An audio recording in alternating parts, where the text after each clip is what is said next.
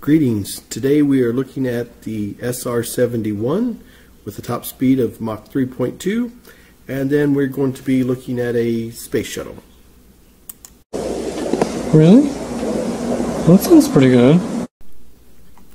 Some facts about the SR-71 with a top speed of Mach 3.2.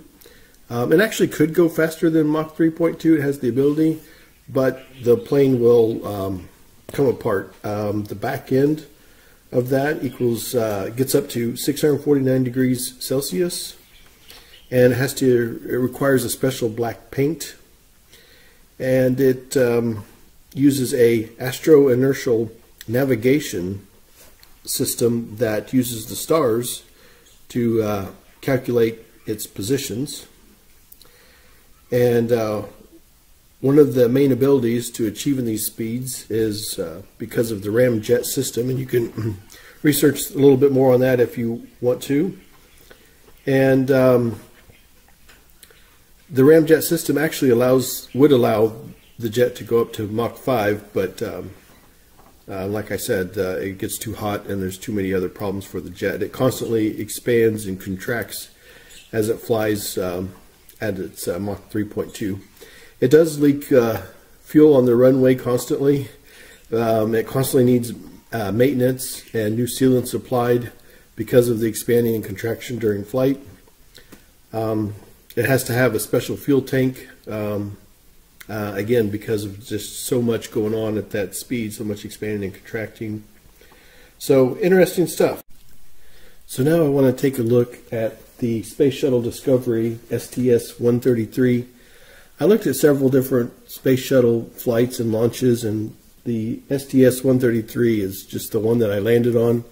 And um, there's some things about it that um, just doesn't seem to make sense to me.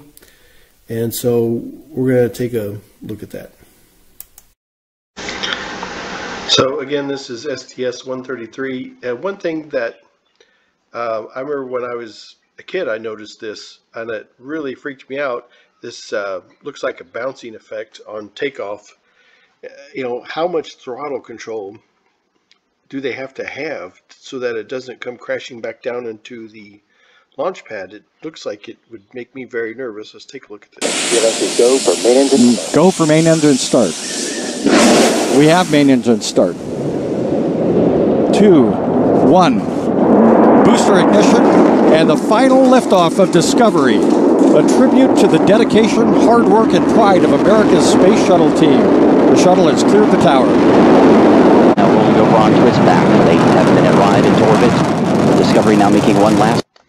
Okay, here. So uh, I did some research, and for this to get into low Earth orbit, and uh, it requires a speed of Mach 23 point something, uh, basically Mach 24, and this launch, um, after eight minutes from launch, it hits Mach 24.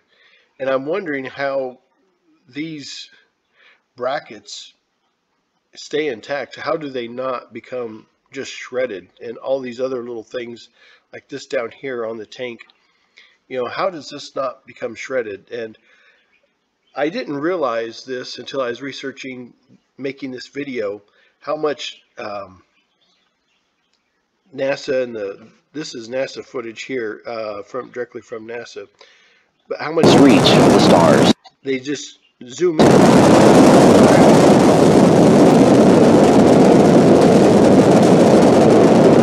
And I, I wanted a perspective where they don't, you know, what's this look like from the ground? And uh, I had to go, and I'll show it here in a little bit. I had to go find amateur footage. Otherwise, um, there was there was none. No, there was no professional footage of that I could find where they just showed what it looked like from the ground. So let's take keep taking a look at this here.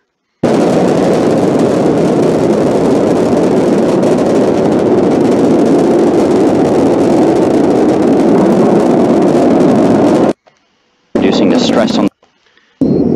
Trying to speed it up. This is what I'm. Discovery Houston, you are go at throttle up. This is about two minutes into the flight.